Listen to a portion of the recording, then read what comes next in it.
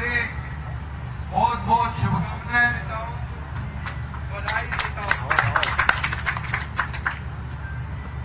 और राजेंद्र सिंह गुड़ा जी का शिवसेना परिवार में मैं स्वागत करता हूँ। यह राजस्थान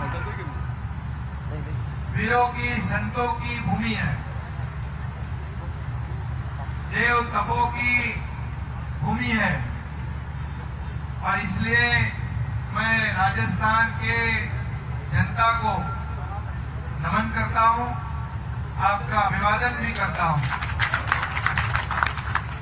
मैं इतना ही कहूँगा जैसे महाराष्ट्र में छत्रपति शिवाजी महाराज, उनकी पावन धरोहर और राजस्थान में महाराणा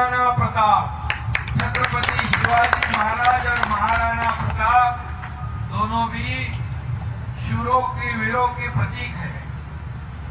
और अभी राजेंद्र जी ने कहा कि इस भूमि से कई लोगों को देश की सेवा करते करते शहादत प्राप्त हुई है।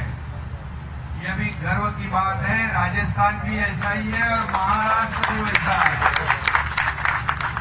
अभी महाराष्ट्र और राजस्थान, ये दोनों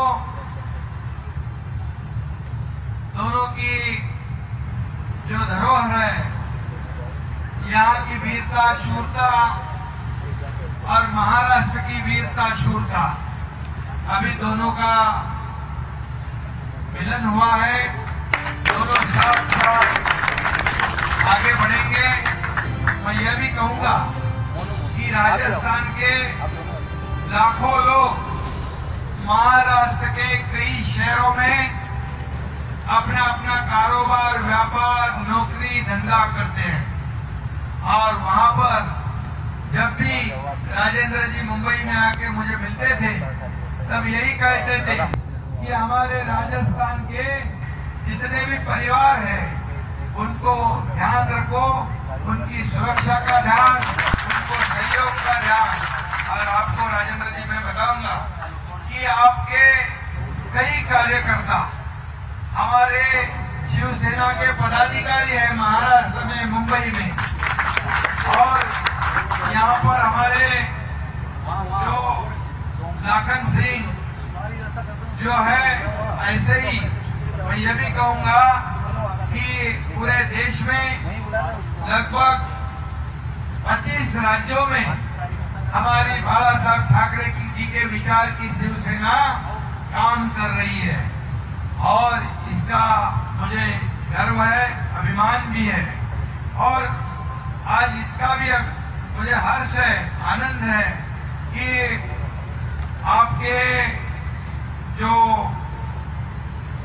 सुपुत्र है, हमारे शिवम, जन्मदिन की बहुत बहुत ढेर सारी शुभकामनाएँ। जन्मदिन मुबारक और उनका जन्मदिन है।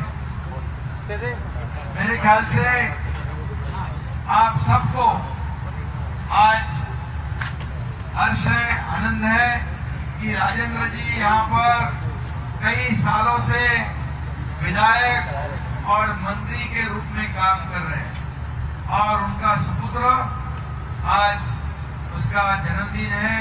मैं फिर एक बार आप सभी की ओर से उनको ढेर सारी शुभकामनाएँ देता हूँ, उनका अभिनंदन करता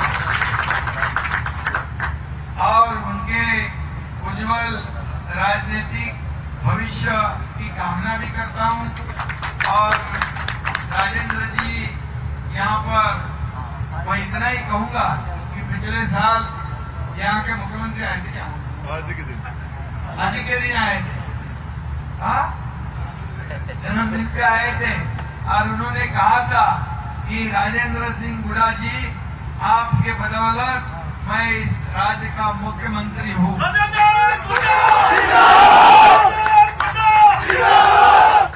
और मुख्यमंत्री के रूप में आपके सहयोग से खड़ा हूँ।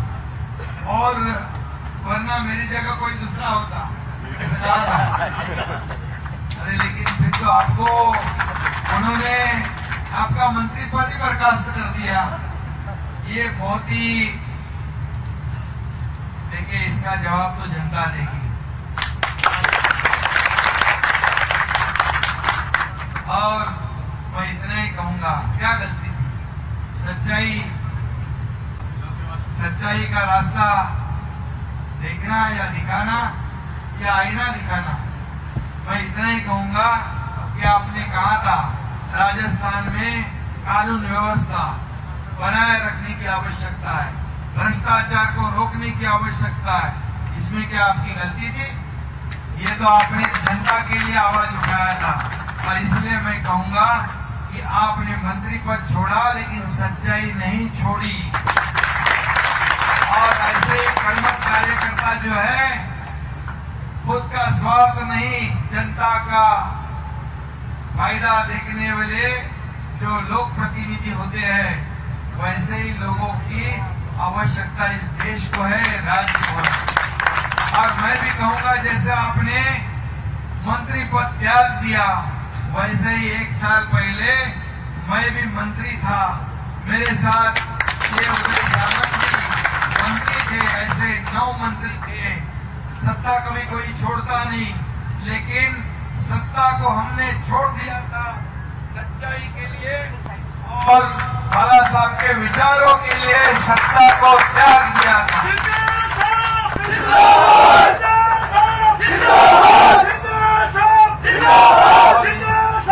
और आपने क्या कहा था महिलाओं को सुरक्षितता चाहिए इस क्षेत्र का विकास चाहिए कानून व्यवस्था बनाए रखने की आवश्यकता है ये तो जनता की आवाज़ थी। जनता की आवाज़ को आपने सच्चाई सामने लाने का काम किया। लेकिन आपको इतना ही कहूँगा कि जैसे राजस्थान में इंडस्ट्री आनी चाहिए, या माइनिंग का पोटेंशियल है यहाँ पर सब कुछ है, ये अगर हम विकास करते हैं तो यहाँ का बेरोजगार अन्य राज्यों में जाने की आवश्यकता नहीं पड़ेगी, उसको यहीं पर नौकरियाँ मिलेगी। और हमारी शिवसेना भी वही काम कर रही है महाराष्ट्र में। स्थानीय लोगों को नौकरियाँ देना, उनको अपने पैरों तले खड़े खड़े करना, अपने बलबूते पर मज़बूत करना, महिलाएँ माता बहने, बहनों को सुरक्षित रखना, उनका विकास करना, उनको शक्ति देना, किसानों को यहाँ पर जितने भी सरकार के फ़ायदे हैं, किसान के पीछे पूरी ताकत से खड़ा रहना, यही तो हमारी सरकार भी वहाँ पर कर रही है। आप जानते हो कि हमारी सरकार पिछले एक साल में, जो पिछले हमारी सरकार आने से पहले ढाई साल जिनकी सरकार थी, उसके साथ कांग्रेस भी थी। लेकिन ये कांग्रेस महाविकास आघाड़ी का जो सरकार महाराष्ट्र में था, उन्होंने हमारे राज्य को पीछे 10-15 साल पीछे खदेड़ने का काम कर दिया। हमारा राज्य देश में पहले नंबर पे था। इंडस्ट्री में, उद्योग में, कारोबार में, उसको तीसरे, चौथे नंबर पर ले गए। सब विकास काम ठप कर दिया। भ्रष्टाचार शुरू हो गया।